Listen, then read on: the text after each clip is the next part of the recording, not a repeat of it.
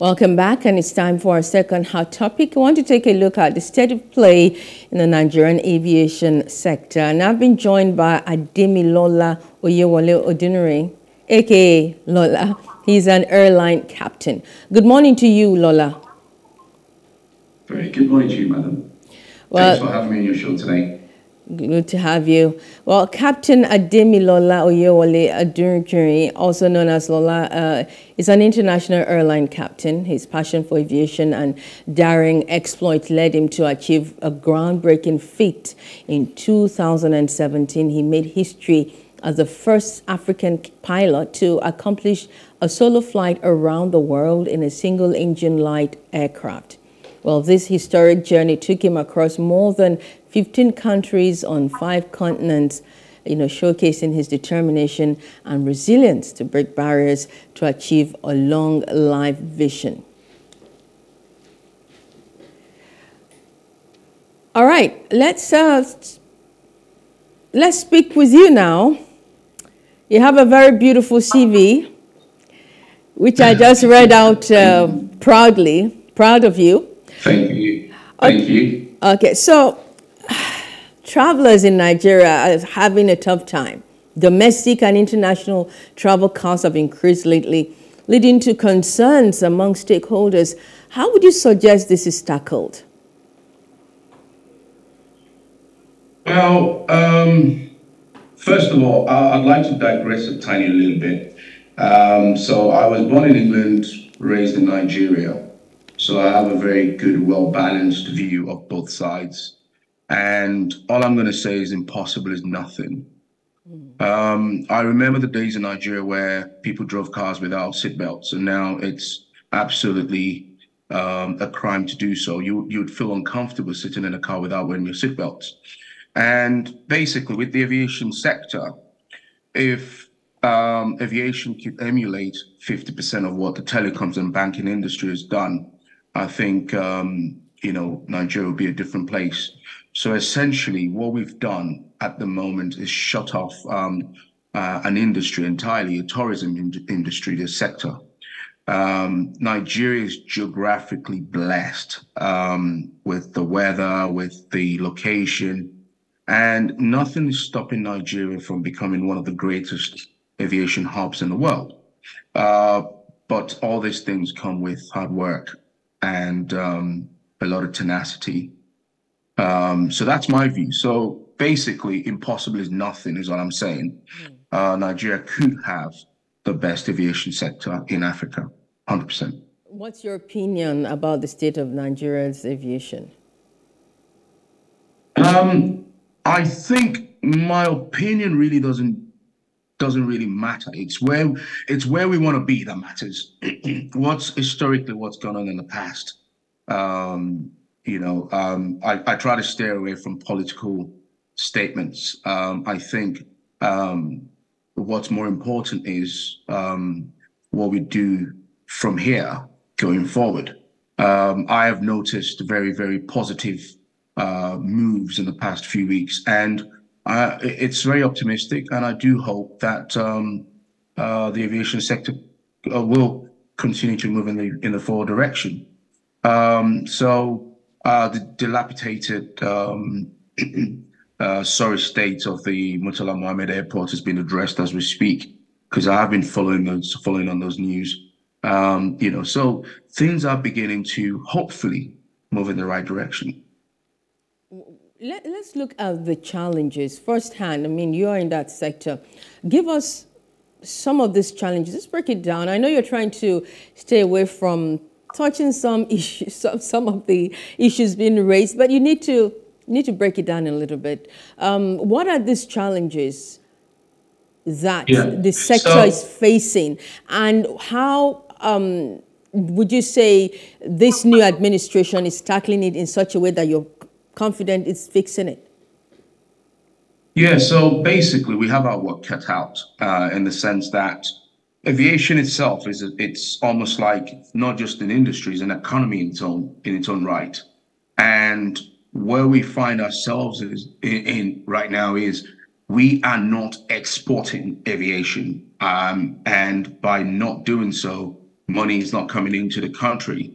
Um, and um, instead, all the foreign airlines are the ones that are coming in, and obviously, um, you know, so aviation, like very many other things, are being imported into Nigeria. So the the the problem, the biggest problem, is forex, mm. and where you basically don't have your own carrier, um, you're reliant on everybody else's. Um, the little reserves that is in the country has been spent on foreign airlines. And um, for example, 80% of all the traffic that goes into Dubai, 80% never stays in Dubai. They're just moving on to other destinations.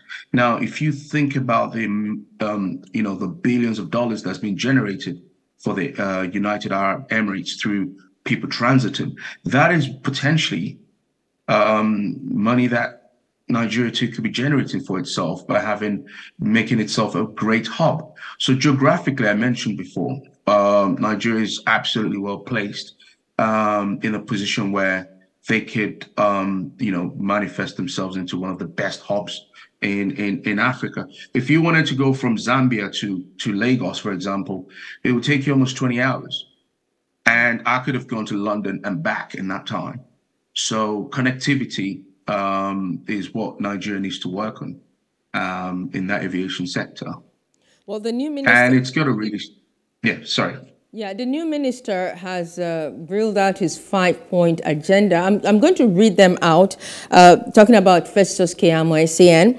Ensure strict, number one, ensure strict compliance with safety regulations and continuous upward movement of Nigeria's rating by ICAO support for the growth and sustenance of local airline businesses whilst holding them to the highest international standards in the aviation industry. Number three is improvement of infrastructures in the aviation industry. Number four, development of human capacity within the industry.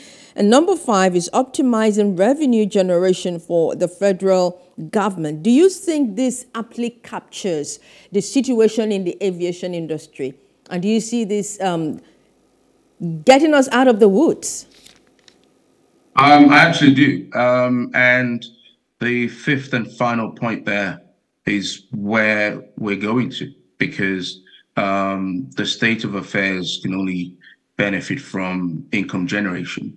And the first four, like he said, um, needs to be in place before you can generate any income.